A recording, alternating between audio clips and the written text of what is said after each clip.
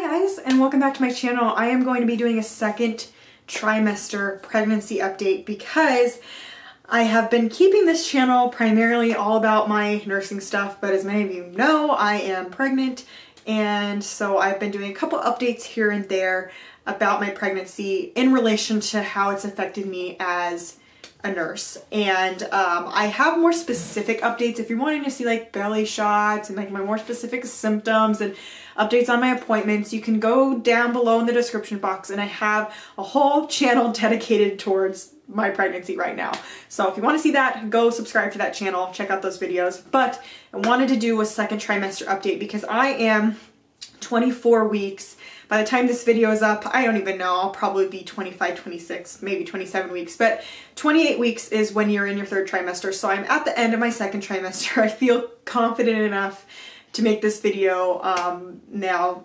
Confident enough, that sounds silly, but like I feel like I'm well into my second trimester and I have definitely noticed some big changes when it comes to work. So I don't have any like restrictions at work. I've talked about this before, like yes, there's restrictions like with certain patients, but as far as like the physicalness of being a nurse, there's no restrictions for me right now. Obviously, I'm being very careful and cautious when I lift and boost patients and turn and all that, squatting up, standing up, or squatting up, squatting down, standing up.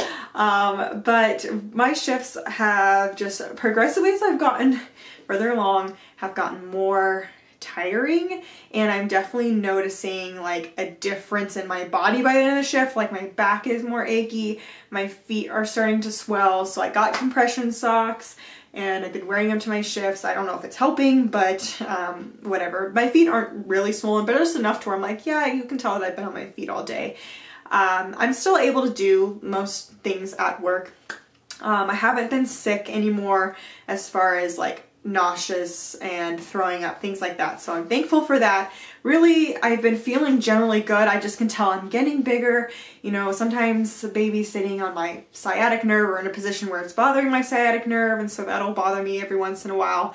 Um, by the end of my shifts, the biggest thing I've noticed is my upper back is kind of bothering me, which um, I'm just guessing it's probably from the weight in my belly is kind of pulling forward on my upper back and I'm still working out, I'm stretching and yada yada, but for whatever reason, my upper back, it feels like my spine is like compressed. I know that sounds weird, but like almost like I just need someone to like pull me, like take my arms and take my feet and like stretch me out. And so I've been looking into maybe going to a chiropractor, maybe going to get a massage. I don't know. Basically, just had my husband be my massage person when I get home from work.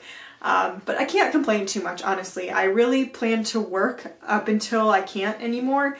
Um, if that means until she's born, awesome. If that means I need to stop sooner because of whatever reason, then so be it. But I plan on working up until I can't.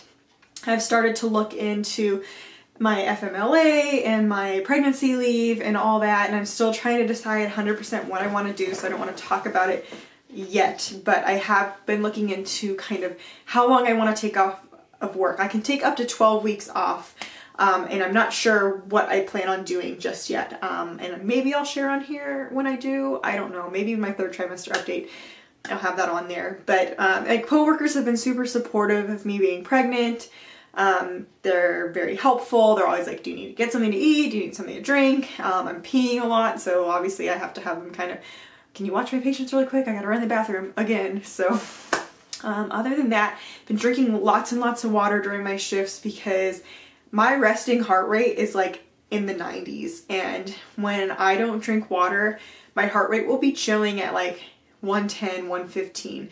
I want to say when I don't drink water, when I don't drink enough water. So I'm drinking over a gallon of water a day to just try and like, one, keep me hydrated, keep baby hydrated, but like, just not like to prevent any complications from not drinking enough water during my shifts. I never really realized how much extra water you need while pregnant. I know it sounds silly, but like you like I never like if I didn't drink enough water, I may feel like kind of sluggish by the end of the day or have a headache or something like that, but I never noticed such a dramatic change like in my vital signs. Like my heart rate is just like goes so high and I don't feel winded. I don't feel like my heart's racing, but it just it is high. So I've been really cautious of that and making sure I can drink enough water throughout my shifts.